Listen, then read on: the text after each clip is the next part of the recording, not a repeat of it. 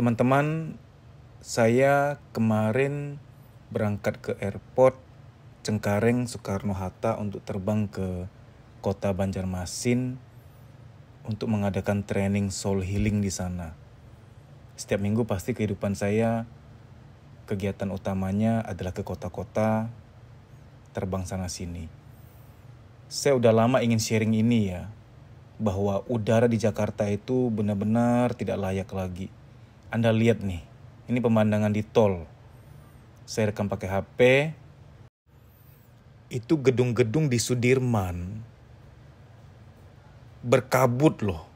Terhalang pandangan kita. Nggak bisa melihat gedung-gedung itu secara jernih, secara nyata. Seperti kayak ada asap gitu di sana gitu loh. Kebayang nggak? Itu polusi udah luar biasa. Sudah melingkupi gedung-gedung itu. Lihat deh pandangannya, burem kan? Seperti berasap kan? Seperti berkabut gelap kan?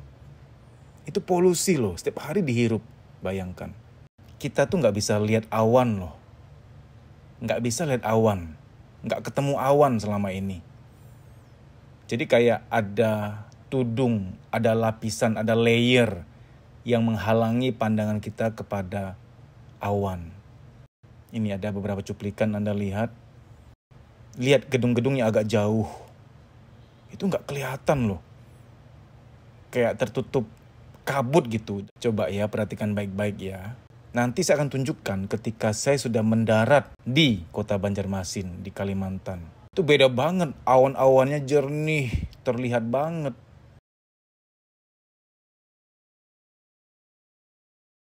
Nah ini ketika saya sudah mendarat, ini adalah di Bandara Banjarmasin. Dari bandara saya menuju ke kota. Coba lihat. Awannya itu jernih, terlihat banget.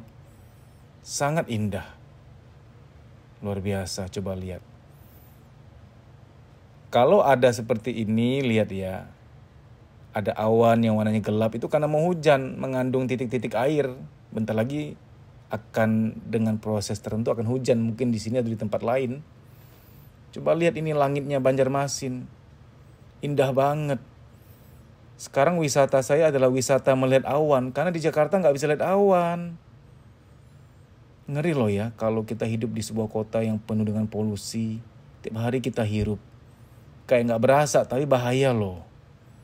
Sudah banyak studi atau penelitian yang mengatakan bahwa hidup lama di kota yang penuh polusi itu bisa membawa banyak dampak kesehatan, bisa nggak panjang umur.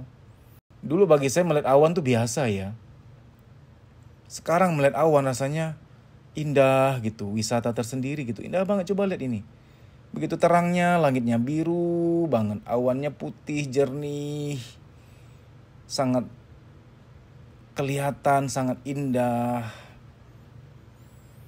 saya itu sampai pengen pindah loh nanti. Semoga ada kesempatan ada rezekinya juga. Mau pindah dari Jakarta lah ke pulau lain bisa menikmati keindahan. Coba lihat Jakarta lihat deh. Itu kalau kita di tol tuh melihat tower-tower menara-menara gedung-gedung tinggi yang di sebelah Sudirman sana tuh nggak kelihatan loh. Luar biasa. Nah ini saya pernah ke Lombok. Keren banget wisata banget, cuci mata banget gitu loh. Wah, saya jadi seneng keluar kota karena hiburan tersendiri, kebahagiaan tersendiri. Gimana ya caranya ya agar di Jakarta tuh bisa jernih langitnya ya. Semoga ada solusi dari pemerintah ya, semoga karena ini menyangkut kesehatan orang banyak ini. Tidak betapa indahnya ya kalau bisa tinggal di tempat seperti ini sejuk, udaranya segar, oksigen masih berlimpah, betapa luar biasanya ya. Orang-orang yang nggak ngeh bahwa langit Jakarta sudah tercemar, udara sudah tercemar, mungkin nggak berasa ya. Tapi udah banyak orang yang mengalami masalah pernapasan dan kesehatan lainnya loh. Ya semoga kita semua tetap dijagai dalam kesehatan. Amin.